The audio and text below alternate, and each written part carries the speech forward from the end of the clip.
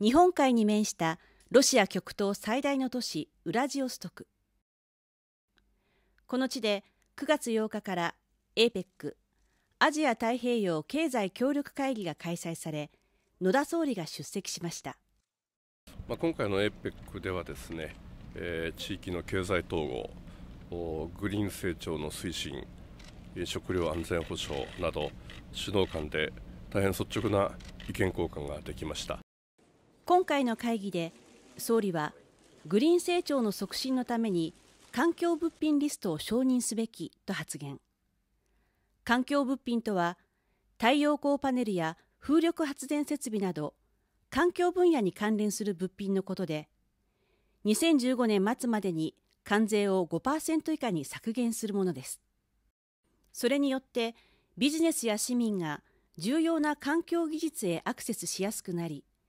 普及と使用が促進されることを目指します。これは WTO でもなかなか結果が出なかったものですが、まあ、今回、予想を超えて54品目指定をするというようなあの画期的な成果が上がったというふうに思います。また食料の安全保障については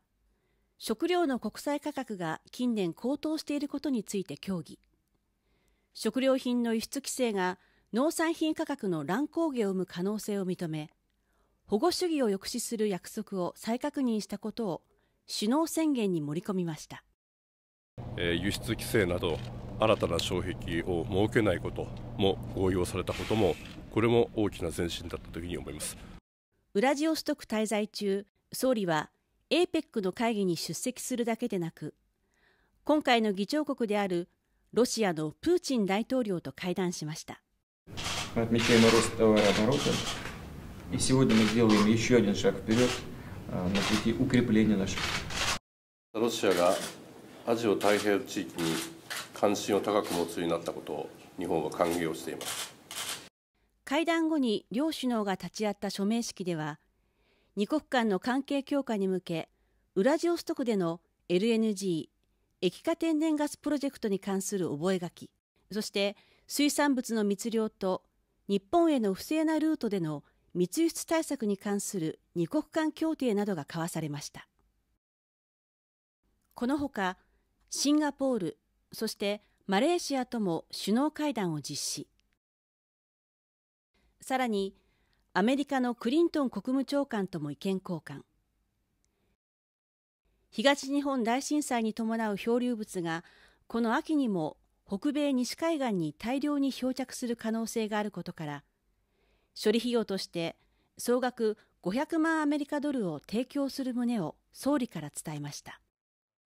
二国間の関係であるとか、あるいは地域の情勢について、これまたあの大変密度の濃い議論ができたというふうに思います第二次大戦後、日本人が旧ソ連やモンゴルに連行され、重労働を課せられたいわゆるシベリア抑留。